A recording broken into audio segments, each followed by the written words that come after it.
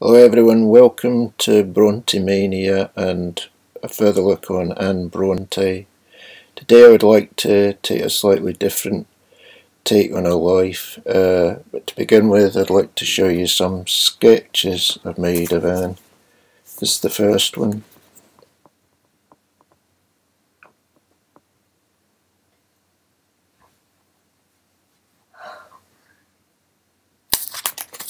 And then there's this one.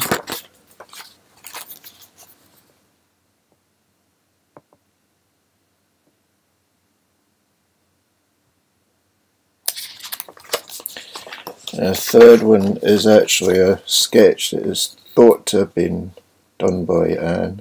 This is my copy of it. It's a, a child.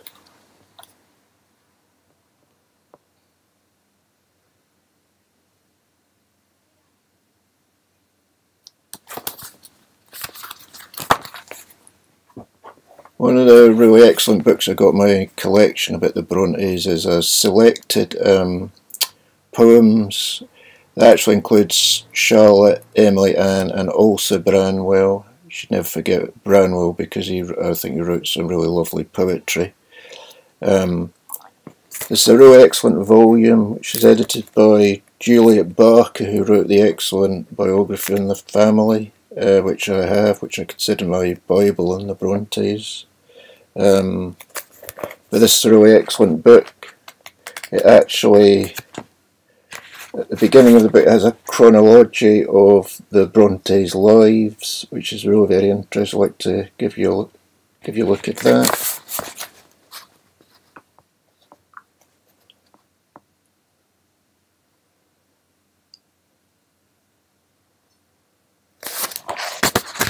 This very interesting because it's got actually, a, as you probably noticed from what I showed you there, a potted history of important events in the Brontes' lives.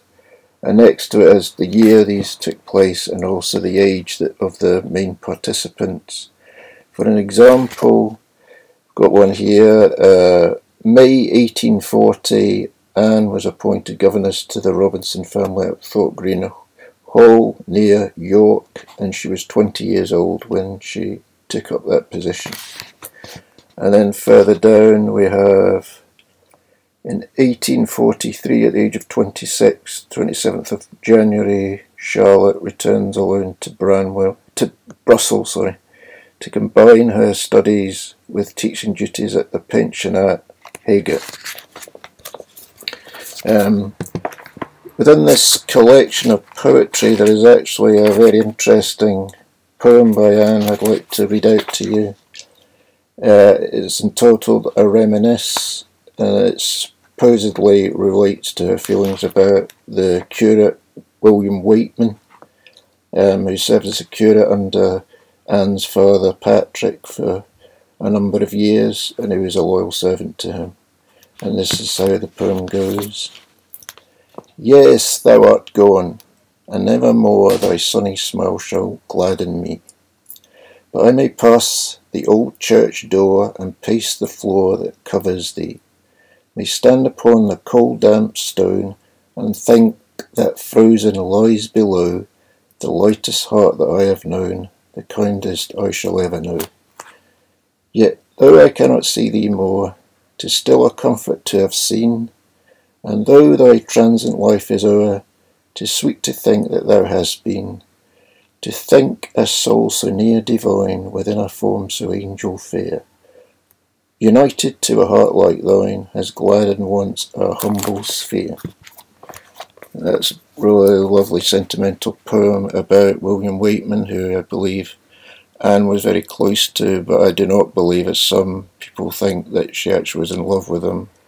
I do not think that's the case. I think she was looked to him as a close and trusted friend, and was very sad when he when he died so tragically, at a very young age in 1842.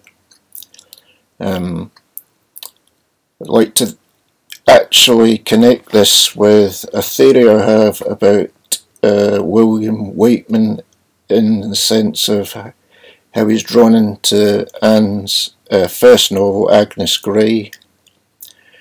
And the part of the novel I'm thinking of is when uh, Anne's creation, Agnes, uh, who is also a governess uh, and very much uh, it's very much an autobi autobiographical novel. Uh, in her sec second governess post, she there is a church minister there called Mr. Hatfield who is a bit of a egotistical so fellow. He is uh, quite hardened parishioners who do not are not able to go to church. They're old, they're infirm, but he comes down to order them and says, Why have you not come to church? When he goes round to visit them, he is a very harsh man, and he also flirts with some of the local young women. Um, and then there is uh, Mr. Weston, who's the curate who, who Agnes falls in love with. He, I actually think Mr. Weston and Mr. Hatfield are actually both two sides of William Weightman. The Mr. Hatfield side is uh, his flirtatious side. He was never harsh on people. He was a kindly soul, charitable soul, was William Weightman. But the flirtatious side of flirting with female members of congregation and those in the local community was very much him, although he did it in a very good-natured way. Um, but the Mr. Weston part of him was very much what he was like as a person, which was he was charitable, kind. He was always looking out for other people's interest. He was always someone to be trusted. Um, so the only part of Mr. Hatfield was within him was the flirtatious side, but definitely not the uh, other side of him, the egotistical, arrogant side. That was definitely never him. I've actually brought that into my novel on Anne, which um, I have written and I'm currently editing. It's entitled A Testament of My Life, which my idea behind that is to when Anne was nearing the end of her life, she didn't realise it at the time, but when she contracted the disease that killed her, it was the consumption, she uh, had this idea that in the last few months of her life she thought she might be nearing her end, so she thought she would leave behind a, a testament of her life by writing her life story, which is what she did in these last few months.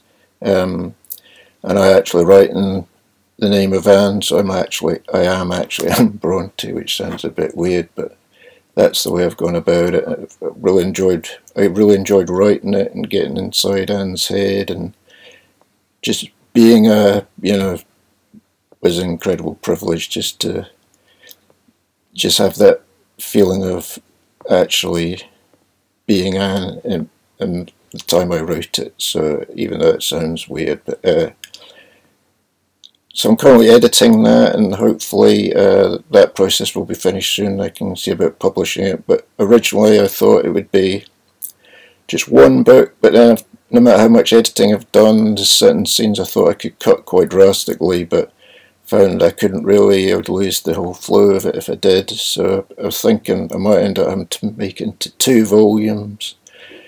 Currently it's over 700 pages long, so it's pretty huge, but but then when I thought about it, I thought, oh yeah, it's so big, but that's because it's about her whole life. It starts from when she looks back at when she was born, growing up, going to school. I was really pleased with the school passages of it, uh, even though it only covered about two or so chapters, but uh, I was quite pleased with that.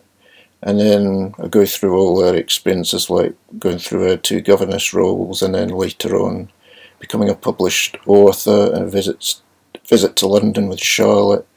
And there's a lot of key events I put into the novel, so I hope you'll enjoy it if you get to read it at some point. Okay, thank you very much for tuning in to Bronte Mania, and I look forward to seeing you again very soon. Thank you.